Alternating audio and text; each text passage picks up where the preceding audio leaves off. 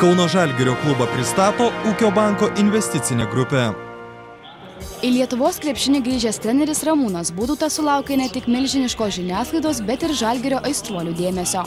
Pirmą kartą Kauno sporto halėje legendiniai komandai vadovavęs strategas po rungtynių ne tik dalyjo interviu, bet ir susitiko su Žalgirio gerbėjų klubo, Žaliosios mirties ir Green White Boys nariais. Treneris šį susitikimą inicijavo savo noru. Mielai atsakinėjo į gausiai susirinkusių klausimus ir žarstė komplimentus vieniems geriausių Europos ir galių. Vis dėlto Ramūnas Būdutas prisipažino, kad dar mažai ką žino apie Žalgirio gerbėjų klubą. Tačiau artimiausiu metu pažadėjo susipažinti su šio klubo nariais bei jų veikla.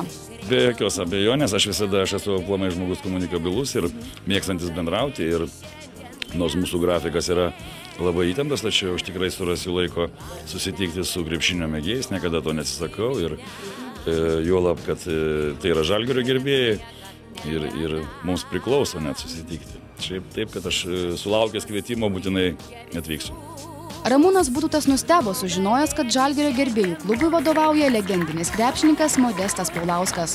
Su šiuo žmogumi treneris sieja daug malonių prisiminimų, todėl džiaugiasi, kad jų keliai ir vėl susikirto.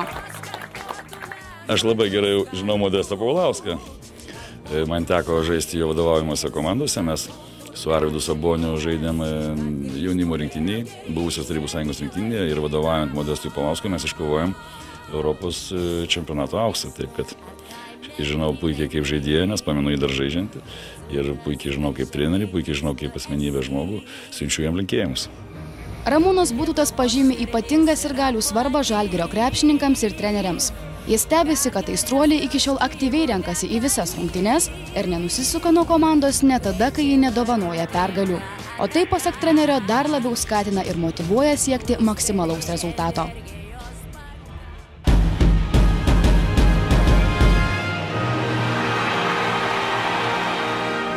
Kauno Žalgirio klubą pristato Ūkio banko investicinė grupė.